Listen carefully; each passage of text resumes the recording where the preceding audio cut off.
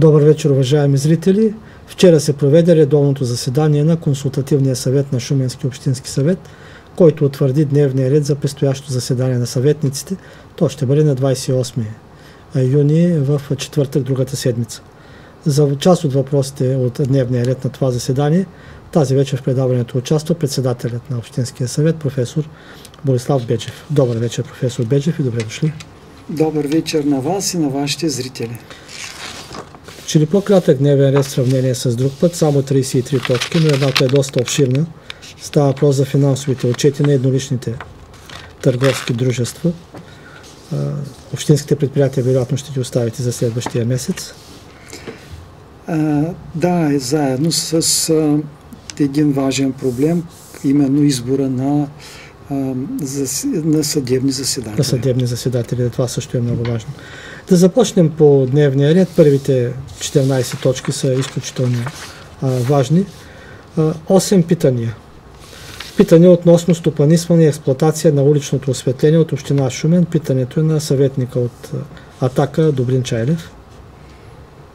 Да, разбира се. Броят на питанията нараства.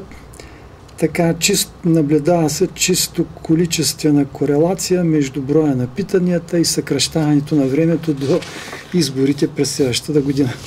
Така. Втора точка също е питане от господин Чайлев за среща на кмета на община Шумен господин Христов с генералния консул на Руската федерация господин Сергей Лукенчук. Да, и разбира се, следващи имаме и питания за обществените водоисточници чешми, относно местата за разходка на домашни любимци, относно погребение на домашни любимци, относно видеонаблюдение на територията на община Шумен, също така за пешеходна пътека в близост до, до природо-математическата гимназия на Анчо Попович и накрая последното питане относно изпълнение на решения за ремонтни дейности по селата с бюджет от 120 000 лева. Тъй като тези питания, отговорите на тези питания не се внасят заедно с другите документи, какъв срок се предполага, че господин Христов те са до него? Ще отговори и как нашите зрители ще могат да научат какви са отговорите на тези 8 питания, които са първите 8 точки от дневния ред.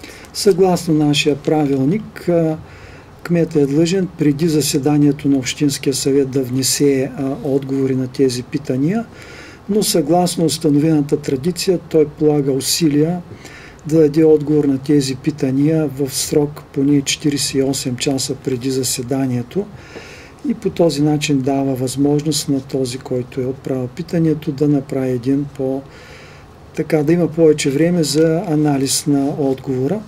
Разбира се, в редки случаи а, кмета е давал и отговори в самото заседание на Общинския съвет, но зависи от исканата от общинските съветници информация. По някой път тя е така доста обемна. Не е много ясно за, какви е, за какво е необходима, но те са в правото си да питат. Така е. Предполага се, че отговорите по време на самото заседание ще ориентират и зрителите, онези, които желаят, разбира се, да научат какво говори господин Христов по тези 8 теми. Девета тема Предложението е ваше, много интересно. Предложение за възстановяване статута на Висше военно училище по артилерия и ПВО в град Шумен. Тук ще припомня на нашите зрители, че до месец юни 2002 година а, в град Шумен съществуваше Висше военно училище по артилерия и ПВО. В резултат на военната реформа, оптимизирането на разходите в областта на отбраната, свързани с подготовката за влизането на България в НАТО.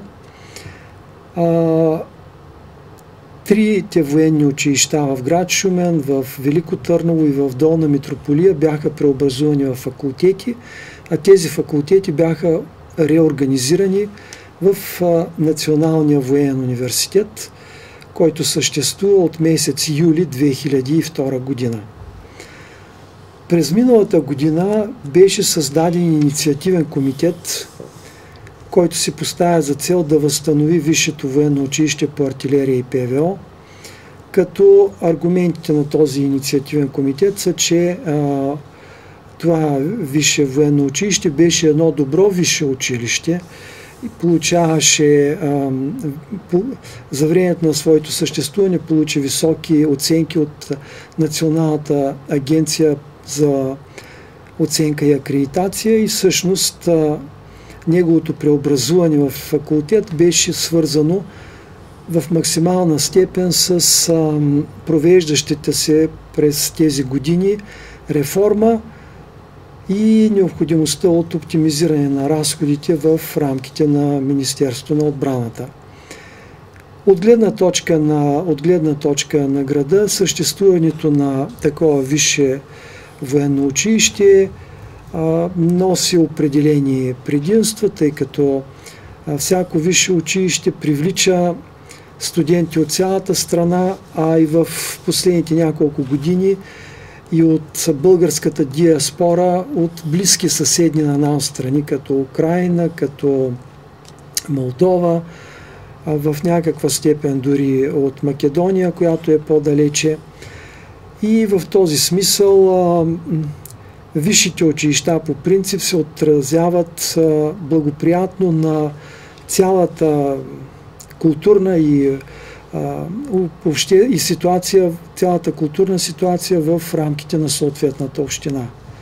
Ето защо, запознавайки, след като се запознах с конкретното предложение, а, честно казано, аз съм в течение на усилията на този инициативен комитет от една година, направих предложение до общинските съветници да подкрепят предложението на инициативния комитет, а именно за възстановяване на Висшето военно училище по артилерия и ПВО в град Шумен. Така, за нашите зрители няколко доуточняващи въпроса. Да. Първо, може ли да споменете кой е ръководителя, председателя на този инициативен комитет и кои са част от членовете, ако всичките не може да ги изборите сега? А, инициативният комитет се състои от а, авторитетни преподаватели а, в а, бившето военно училище, висше военно училище по артилерия и ПВО. Конкретно писмото, което получих, което получих е от а, професор Лазаров. А, разбира се, освен този инициативен комитет, е създадена и асоциация на възпитаниците на Висшето военно училище по артилерия и ПВО. Тази асоциация също подкрепя идеята за възстановяване на Висшето военно училище. В асоциацията членуват на практика всички активни преподаватели и строеви офицери, а също така сержанти и старшини, които са работили в Висшето военно училище по артилерия и ПВО.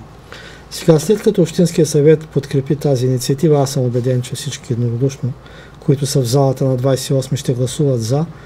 По-нататък какво предполага процедурата? Как може това реално да се получи, защото предполага се на държавно ниво трябва да се вземе някакво решение. В тук има, от техническа гледна точка въпросите, които трябва да се решат, е трябва да се разработи а, проект за разкриване на висше училище, който да бъде който да бъде одобрен от Агенцията за оценяване и акредитация.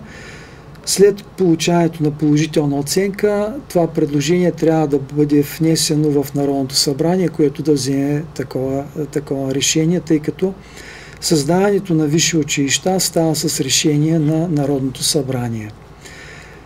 Другият съществен въпрос е осигуряването на съответното финансиране – тъй като съответното висше училище ще има свой самостоятелен бюджет, който ще бъде отделен от бюджета на Националния военен университет. Колко факултета предлагате да бъдат възстановени? А, в а, вариантите, вариантите тук са два. А, по принцип, а, висшето, висшето училище трябва да има поне един факултет и поне и поне един, и поне един департамент и, или другия вариант е, който се среща при частните висши училища. Може да няма такова отделение на факултети. но в този случай трябва да има общо 40 хабилитирани преподаватели. Във всички случаи тези изисквания за брой на хабилитирани преподаватели, за наличието на два факултета или пък факултет и департамент, от това, което имаме в град Шумен, аз съм убеден, че тези изисквания ще бъдат изпълнени. Реално е по-сложен въпроса с осигуряване на финансиране, тъй като към момента тук нещата са все още в процес на планиране.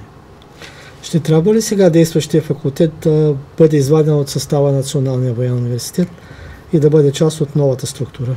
Естествено, сега действащия факултет фактически вероятно в проекта ще се раздели на два факултета. Един по артилерия, другият по противовъздушна отбрана и КИС. А дали ще се съгласят от ръководство на Националния военен университет в Велико Търново за Сега такова ние... преструктуриране на тяхното учебно заведение? Не мога да кажа, но в крайна сметка ние се интересуваме от интересите на гражданите на община Шумен и сме избрани да защитаваме преди всичко тези интереси. И другите два въпроса свързани с базата и с кадровото осигуряване. Okay. По проблем, проблеми с базата няма да има, предполагам. Нито с базата, нито с кадровото осигуряване няма да има, тъй като, както казах, бившето висше военно училище по артилерия и ПВО беше едно от добрите висши технически училища в България. То беше добре осигурено с кадри, а също така и с материално-техническа база, полигони, кабинети, спортна база и така нататък. Спомняте си преди години, когато ректор на Шуменския университет епископ Константин Преславски беше професор Добрин Добрев, да. една голяма група преподаватели от военното училище, част от което сте и вие, започнаха работа, напуснаха университета, напуснаха военното училище, отидаха на работа в университета. Това ще се отрази ли на работата там и на факултета, който беше създаден? Няма да се отрази, тъй като а, сегашния факултет по артилерия ПВО и КИС има голям а, брой докторанти и той е способен, разбира се и с подкрепата на Шуменския университет, ако нещата почнат да се развиват, да създаде необходимия брой кадри в кратък период, така че да се отговорят на изискванията, както казах, в случай, че няма два факултета, изискването е 40 хабилитирани лица. Аз смятам, че те ще могат да ги осигурят. При позитивно решаване на всички проблеми, които са свързани с възстановяване статута на военното училище, какъв е най-краткият обозрим срок за последващата учебна година? Би ли могло това да се случи? От 2019-2020? Най- най-краткият реали... реалистичен срок е за следващата академична година, т.е. 2019-2020. Желаем от сърце успех. Това ще бъде огромен успех за целия град и една изключително висока придобивка. Ние сме имали военно училище и знаем колко позитивно се отразява от това на живота в Шумен. Вие в началото на своето да. изложение споделихте. Точка 10. Да се наименува улица в квартал Боян Българанов тази кратка точка, която ще отнеме, предполагам, няколко минути в гласуването на Общинския съвет, разкрива позитивната динамика в развитието на нашия град. Вече за трети или четвърти път ние гласуваме, ще гласуваме а, даването на имена на улици, които са ново създадени. Това означава, че града се развива тук става дума така в периферията на града, в бихме нарекли тези зони, а, зоните на промишлените зони на града, но ние виждаме, че се появяват нови фирми, производства и естествено трябва да бъдат дадени имена на улиците, за да могат тези фирми по най-така лесния начин да осъществяват своята стопанска дейност. В предишни наши предавания сме коментирали този проблем, а именно че липсата на име на съответната улица води до затруднения до получаването на пратки, които спедиторските фирми разнасят. Съответния, съответния шофьор на кола зарежда съответните данни в картата, те не му излизат, той не може да намери къде да достави съответната пратка връща се, върти се. Имало е случаи, когато пратката се връща, в същото време фирмата я чака, бърза да я вложи в нещо, което произвежда. Всичките тези осложнения могат да се преодолеят именно създаването на имена на улиците, на новите улици в град Шумен, а възникването на нови улици е един важен косвен показател, че града се развива. Да, града се развива и не само в индустриално отношение, но и в културно отношение. Точка 11. Сформиране на управителен съвет на Общински фонд култура. Сега тук искам да кажа, че това е в съответствие с а, статута, по който функционира Общински, Общински фонд култура и е необходимо след а, да бъде избран такъв управителен съвет, тъй като в подобни, а, в подобни фондове е възприята най-често най-често управление на две нива, като двете нива взаимно се контролират и така създава повече прозрачност в, в дейността на съответната структура. Да, има становище на Комисията по култура, предполага се, че то трябва да бъде гласувано. И аз се надявам, че това ще стане така. Да, след като те единодушно там определиха този състав, предполага се, че няма да има възражение. Да. Точка 12. Приемане на годишните финансови отчети на едноличните общински търговски дружества. А, тук искам да отбележа, че срока за а, тази дейност е до края на месец юни а, 2018 година. В крайна сметка на Общинския съвет, освен да приема, освен да приема различни наредби, правилници и така нататък, изпълнява по търговския закон, изпълнява функцията на висш орган за управление на общинските, на общинските предприятия и дружества. И в тази, в, в, в тази връзка, изпълнявайки ролята си на принципал на общинските търговски дружества, ние трябва да анализираме техните финансови отчети за изминалата година и да ги приемем съгласно изискванията на закона. Така че това го правим всяка година. Ще го направим и тази, надявам се. Да, важното е какви са резултатите и как хората са удовлетворени от работата на тези дружества, защото те в крайна сметка обслужват гражданите на Шумен и не само на Шумен. Да, точно така. Точка 13. Предложение за избор на управител на ДКЦ-1 за срок до провеждане на конкурс. Защо се налага това? Заради... През изминалата седмица получих писмено заявление от доктор Костов, с което той информира мен, а чрез мен и всички общински съветници, че не може да изпълнява функциите на управител на ДКЦ-1 и в резултат на това негово заявление трябва да бъде избран, да, трябва да бъде избран друг управител. За да не се получи вакуум в управлението, естествено е този нов управител да изпълнява своите функции до провеждането на конкурс, тъй като такива са изискванията, тъй като такива са изискванията на закона. И а, в докладната записка на кмета господин Любомир Христов фактически са залегнали тези две положения, именно, че освобождава доктор Костов от а, а, изпълнението на задълженията управител на ДКЦ-1 Шумения ОД и съответно а, определя а, друго лице за управител на ДКЦ-1 до провеждане на конкурс. Става въпрос за доктор Беген Ангелов. Да, това е предложението, но това е предложението на трудовия колектив и а, естествено фактически то влиза за разглеждане в сесии на зала. Други думи, господин Христос се е съобразил с предложението на самите работещи в да, ДКЦ. Да, така е. Това е добре. А, от тук нататък 14-15 останалите точки са свързани с разпоредителни сделки с общинско имущество, т.е. продажби, отдаване под найем, ремонти. Да. А, важна е точката 30 Четвърта. Ремонт и възстановяване на съществуващи сгради и изграждане на спортен комплекс, включващ закрит полуолимпийски плувен басейн за целогодишна експлоатация, спортна зала за волейбол, тенис, баскетбол, футболно игрище, зала за бойни изкуства и летен център за изкуства на територията на бившия тежък полк.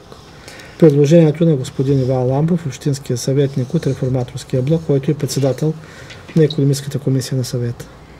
Искам да припомня на нашите зрители, че това предложение а, всъщност е от, още от 2016 година и а, по предложение на господин, на господин Иван Ламбов предложението беше разгледано от кмета Любомир Христов, беше направен анализ и така нататък, но явно изводите, които бяха направени до две години, не са стигнали до широката общественост и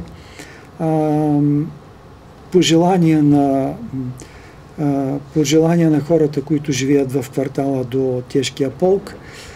Отново виждаме това предложение да влиза в дневния ред на Общинския съвет. Аз ще припомня на нашите зрители какво установи анализа, направен от работната група, определена от кмета господин Любомир Христов, а именно, че съоръженията на бившия тежък полк а, не могат да се използват директно за не могат да се използват директно за а, занимания на а, цивилни младежи или пък а, граждани, тъй като са изградени изключително за тренировка на екипажите на, екипажите на танкове. Изхождайки от а, тази задача, архитектът, който е планирал съответните съоръжения, е подчинил тяхната конструкция на това танковете да преминават през препятствия, да потъват под водата и така нататък, да преминават през а, водно препятствие, което е в противоречие с съществуващите норми а, по отношение на техника, по отношение на безопасност, когато говорим за общо достъпни плувни басейни. А, независимо от това, преди две години бяха направени а, редица контакти с а, а, бизнесмени, които се занимават с строителството и експлуатацията на плувни басейни и така нататък. И от тези срещи стана ясно, че реализирането на тази идея ще изисква най-малко 2 милиона лева, а може би и повече, тъй като, както повтарям, съществуващите съоръжения не могат просто да се преустроят, те са построени за съвършено други цели. Най-малкото няма подходящи съблекални, няма подходящи а, а, бани, които и така нататък. Вие знаете, че военният човек влиза в реката и не мисли, не разчита на това, че като излезе на другия бряг, там ще има съблекалня, съблече и ще се изкъпи. Това, това нещо не е, въз, не е възможно.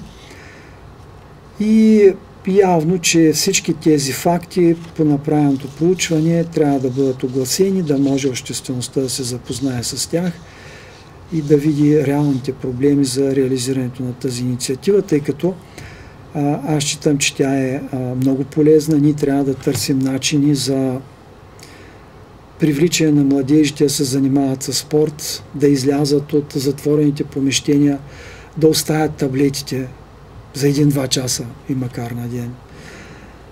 Но явно в, този, в конкретния случай стана дума за прекалено голяма инвестиция, която на този момент, вероятно, община Шумен не може да си позволи. Не може да си позволи да си търси външен инвеститор. И естествено, изхода е да се търси си вършен инвеститор, проекти, международни проекти, става дума по линията на Европейския съюз и така нататък.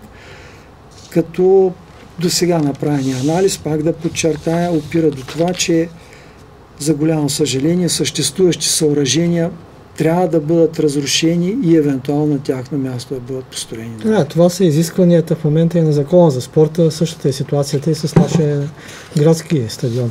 Има и други изисквания, които излязоха. Те а, настъпват. Вие знаете, че обществените сгради трябва да имат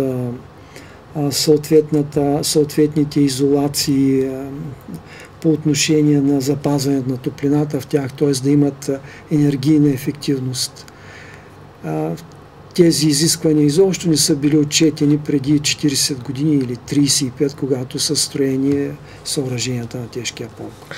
С това изчерпахме въпроса за дневния ред, част от него, разбира се, който е по-важен за нашите зрители, но нека да коментираме още една тема. Не сме се виждали с вас от последното идване, когато беше сесията през май. Да. Миналия понеделник на 11 юни имахте също заседание на консултативния съвет единодушно вземахте решение тази сесия, която трябваше да се проведе извънредна за ситуацията във ВИК сектора до края на този месец да остане за есента. Още един път за нашите зрители. Какви бяха мотивите, защо решихте да се отложи сесията и какво се разчита през септември да се случи? Сега искам първо да отбележа, че не сме отложили сесията, тъй като в решението не беше посочен, по принцип листва такъв конкретен срок. Решенията са публикувани на сайта на Общинския свет, може да отворите и да ги прочетете. Все пак самото понятие извънредна сесия внушава така внушава усещането, че това трябва да стане възможно най-бързо. Но във времето между 31 май, когато беше редовното заседание на Общинския съвет, и 11 юни, когато беше консултативния съвет, ам, настъпиха обстоятелства, които, които насочиха именно към това сесията на Общинския съвет по отношение на проблемите в водоснабдяването на града да бъдат разгледани през септември или октомври. Кои са тези обстоятелства? Първо ще отбележа, че на 4 юни министъра на МРРБ, господин Нанков беше в Шумен. Той разгледа няколко обекти в града и накрая направи, направи пресконференция, която аз ще резюмирам съвсем накратко, тъй като може би някои от нашите зрители не са гледали, или пък други вече са забравили. Така, министър Нанков пое от името на държавата две изключително, два изключително важни ангажимента, а именно – в средата на месец юли да започнат процедурите по изграждане на пречиствателна станция за питейна вода.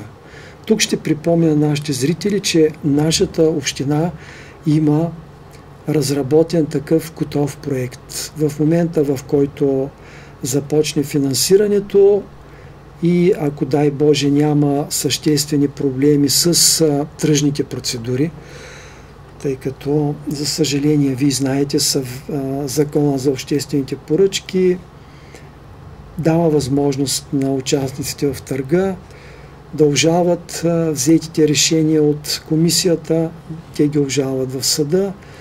Съда, докато определи вещи лица и така нататък, понякога едно такова обжалване може да забави реалното изпълнение на съответния проект с повече от половин година но да се надяваме, че това няма да се случи.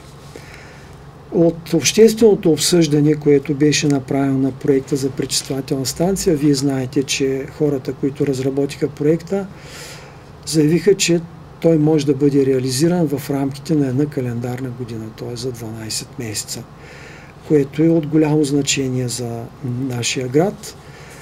И второто важно така изключително важно съобщение на министър Нанков е, че а, през месец септември а, ще, а, всъщност той е внесъл такова предложение до а, Народното събрание, но то ще бъде разгледано през месец септември. Съгла... Промяната в това, в съществуващото законодателство ще даде възможност държавата да изгради нов довеждаш водопровод от язовир Тича до Шумен в рамките на съществуващия сервитут, на сервитута на сегашния водопровод. А, това ще доведе до спестяване около 25% от възможните разходи по реализирането на проекта, което ние как не е малко, тъй като вие знаете, че реализирането на един такъв проект, нов довежда водопровод, ще струва може би от порядъка на 50-60 милиона лева. И служете 25% на тази сума, виждаме за какви пари става дума. И второто, не по-малко важно, а, използването на съществуващия сервитут много ще опрости, т.е. напълно ще отпаднат процедурите, които иначе бихме ги направили за отчуждаване на нов сервитут. А, това е една дълга и мъчителна времето процедура, ако се наложи нали, отчуждаване на имоти и така нататък. Така че промяната в закона, която ние се надяваме, че ще бъде подкрепена от всички парламентарни групи, тъй като в водата няма никаква политика. Би трябвало. Би трябвало да няма никаква политика. Се надяваме да стане през месец септември. И накрая, след като разгледах резултатите от нашите дебати по проблемите на водоснабдяването в община Шумен, аз видях, че ВИК дружеството пое ангажименти пред нас, това беше преди няколко месеца, да извърши така наречените проект, проектни проучвания, с които да кандидатства по редица проекти, които не са чак толкова мащабни в сравнение с пречиствателната станция за питейна вода и с довеждащия водопровод, но имат също много голямо значение за а, цялостната ситуация в община Шумен и в Шуменска област. Аз ще припомня на нашите зрители кои са тези, а именно а, възстановяване на водоисточниците, които са използвани до 1989-90 година. Това са кладенци, които, в които водата е чиста, отличава се по, с, така, с по-голяма варовитост, но са на по-голяма дълбочина. Това са няколко кладеница на територията на квартал Мътница и мисля, че един има в квартал Макадък. Има и един в на територията на град Шумен. Другият, другият проект, който трябва да се реализира, а именно разделяне на територията на община Шумен на сектори, и поставяне на така наречените секторни водомери, които дадат възможност при голяма авария бързо да се открива мястото на съответната авария и да се а, намали пилеенето на вода, тъй като в момента няма такова райониране и трябва по външни признаци избиване на вода на някоя улица и така нататък да се открие мястото, където по основен водопровод в рамките на града е възникнала тази голяма авария. С други думи, ще очакваме септември или октомври това заседание. И се надявам, че то да бъде, а, то да почива върху конкретни данни, цифри, идеи, проекти, защото ние можем да проведем много такива а, извънредни заседания въобще изобщо, но ние сме сериозни хора, търсим крайния ефект. Добре. Благодаря ви много за коментара, който направихте за нашите зрители. Господин Беджев, ще се видим в навечерието на заседанието на Общинския съвет, за да видим по всички този въпроси какви становища са взели комисиите на Общинския съвет. Благодаря на вас, на вашите зрители, една хубава и пълна с футболни емоции вечер. Дано. Благодаря ви още един път. Благодаря и на вас, уважаеми зрители, че отново избрахте да гледате телевизия Шумен. От нашия екип приятна вечер и довиждане.